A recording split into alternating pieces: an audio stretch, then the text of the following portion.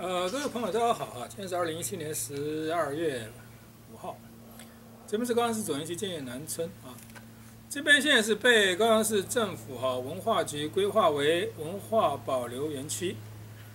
景观保留园区。呃，其实大家都呃不只是外界很困惑哈，包括呃我在这边出生长大到这边海军眷属哈，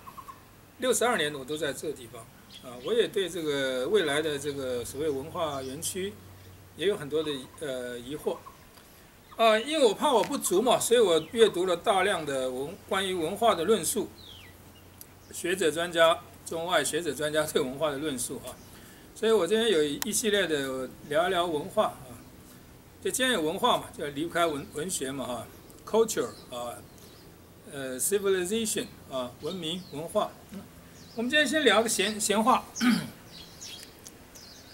不要问我从哪哪里来，我的故乡在远方。大家台湾的台湾大陆，只要是华人地区的人，几乎无人不知、无人不晓这首歌。这首歌在台湾风风靡之后，在大陆风靡非常的久，影响了一代中国人。这一代中国人现在大概就是五六十岁的人。啊，包括大概四十几岁吧，因为台湾风行这十年之后，在大陆才文革结束之后才开始风行这首歌，啊，港台文化进入大陆，尤其台湾文化，大家对对对这个台湾文化的极度向往。这首歌是 三毛写的词哈，那个李泰祥帮他谱的曲啊，非常非常美，橄榄树啊。那我今天就是聊聊三毛这个三毛这个人。三毛现，我讲我叫它叫文化现象啊，因为文讲到文化就是要讲现象嘛，呃，event 啊，那个三毛的的出名哈是在呃大概那个时候是在四十年前吧，呃将将近四十年前，那时候在中国时报吧，如果我没有记错是中国时报副刊上面有有刊载他的文章，他投稿的文章，他当时在西班牙。在非洲，那因为他先生那个荷西是西班牙人嘛，他是一个潜水，他说叫潜水工程师的，其实那个英文字就 diver 哈，diver 可以翻译成任何的潜水者、潜水夫、潜水潜水人等等都可以了。其实他的职业就是职业潜水潜水人，以前直接翻译成潜水夫，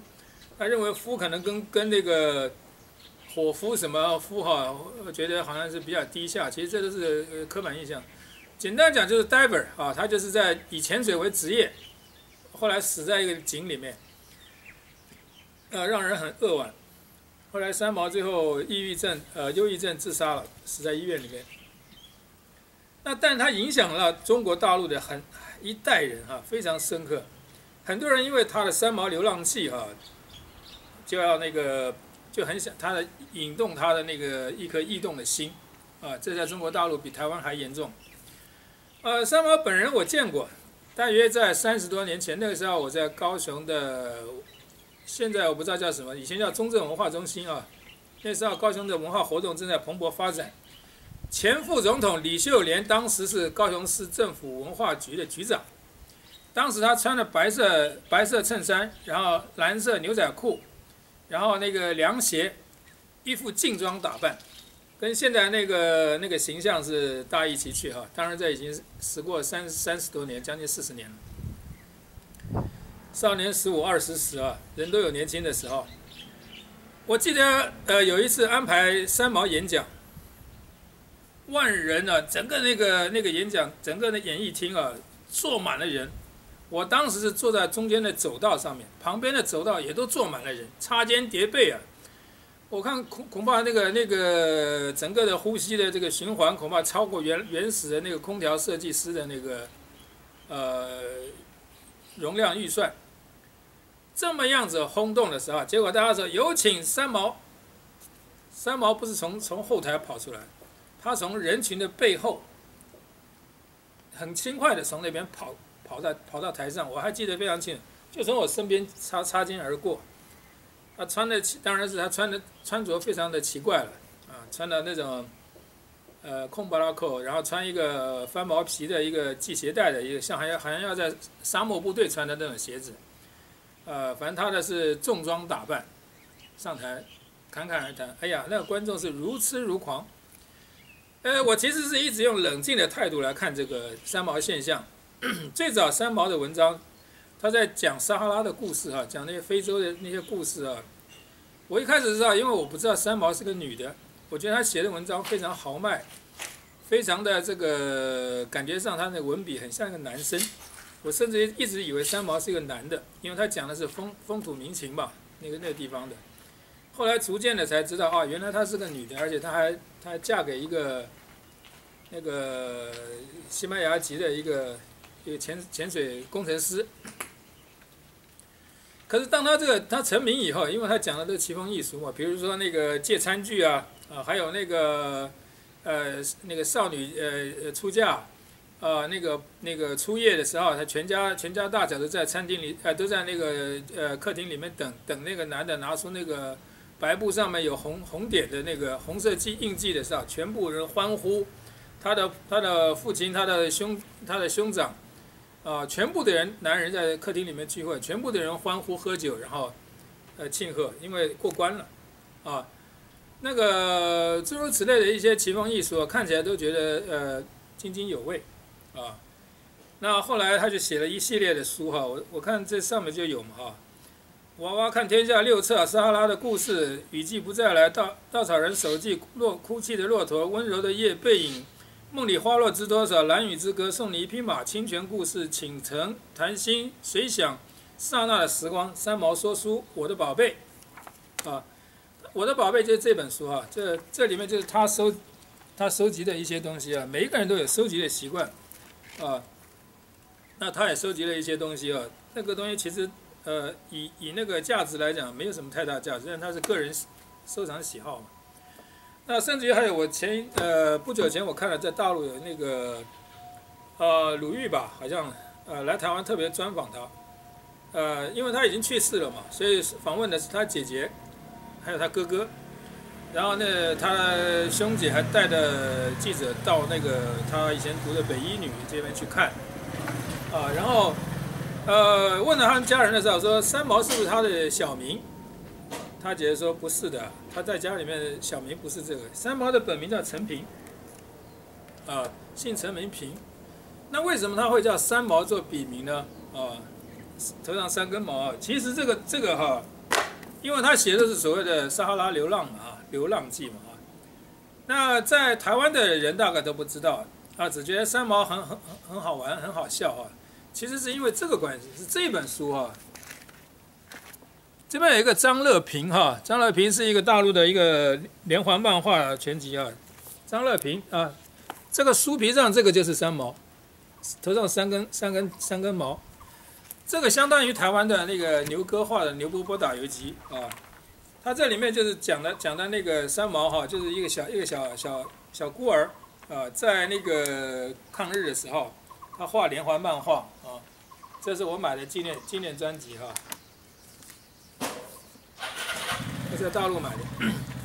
呃，大陆很多漫画我都收集了，只要有只要我有缘分，我看到喜欢我就我就买，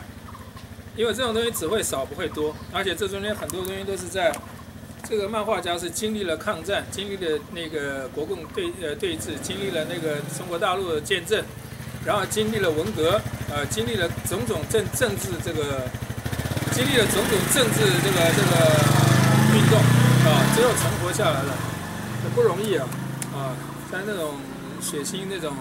暴政、那种呃颠三倒四的的状态之下，存活下来。后来他还是也年纪大了，去世了。三毛的那个笔名就是来自这个，因为他是流浪，《三毛流浪记》嘛，他是讲等于像《苦儿流浪记》一样的故事啊，里面里面其实苦多于乐，他是苦中作乐的一本一个连环画。那他因为他触动了大陆的人被压长期压压抑哈，社会青年一直想说，哎呀，我因为文革，我因为上山下乡，我因为什么耽误了我的青春，耽误了我的学业，耽误我了一辈子，他很不甘心，所以他们心里面一直燃着燃起一一个怒火。大陆一开始开放之后，他们就往外跑，所以三毛的歌、三毛的书一直畅销到现在。当然了，三毛后来还有一些其他故事，比如说跟王洛宾的故事啦，跟什么哈，那些我都不太不太愿意听，也不太愿意看。而且他后期的那些著作哈，啊，参加什么大什么那个什么大大蜥蜴之大蜥蜴之夜什么那些，哎，我都觉得已经开始走偏了。我是说要今天谈三毛，我是觉得这是一种哈一窝蜂的现象。其实你可以持平的看三毛的著作啊，我我常常劝我呃一些朋友在国外的哈，或在异地的人、异地他乡的人，我都跟他讲说，请你以三毛为范本。你看到的东西都是你第一手资料，你就等于是什么？就是等于是尖兵斥候，或者是县民。你探子报嘛啊，探子第一报，探子第二报，探子嘛啊，就是就是那个斥候嘛。三毛等于就是替我们打开了眼界，他就是探子，他就是斥候，他就是尖兵，啊，他就是帮就是县民，他帮我们把国外的那些现象啊传输回来，让我们看起来觉得。五里不同风，十里不同俗。我们看起来觉得觉得非常的津津有味，是因为这样的关系，再加上他的文笔很流畅，啊，他并不是什么有什么文以载道或什么的，那都没有啊。可是这样子的东西啊，就是一种文化现象啊，我们只能把它当做是一种文化现象来看待，而我们不必要去把它神化或者是美化到什么。呃，我记得那个鲁豫哈，他在访问的那个东西，他就讲说哈。原来三毛哈，我们的三毛梦，三毛是一场梦，就是我们认为的东西啊，全都是，全都可能是子虚乌有的。比如说，三毛说他到坟墓里面去，到坟场里面去上课翘课去坟场什么，他的姐姐兄姐说好像没有这回事，至少他们不知道。其实文笔哈，文学家的笔跟他的那实际的生活有的时候差距很大，啊。因为他的那个文字啊，尤其是当一个人有盛名之累的时候，他本来可以畅所欲言的，结果因为有盛名之累之后，大家对他有过高的期望之后，他反而寸步难行，一一个字都写不下去。三毛其实就是这样，所以呃，有的人很惋惜说他他他为什么要自己把生命结束哈？其实我是从另外一个角度看，我认为说。如果去掉盛名，他能够过成一个非常简单的，不要那么浓妆艳抹的话，可能他可以。当然，他的父母、他的兄长、兄姐都希望他能够像一个传统妇女一样，相夫教子、持家，做一个好好的家庭主妇，而不要这么样子的绚烂，这样子的呃知名。我想哈，不论如何，每一条路哈都是路，只是说。走到走到走到尽头，自己决决定走到尽头，其实也不见得是一个非常的让人扼腕的事情，啊！以上三毛当做一个文化现象，跟各位略谈一下，谢谢。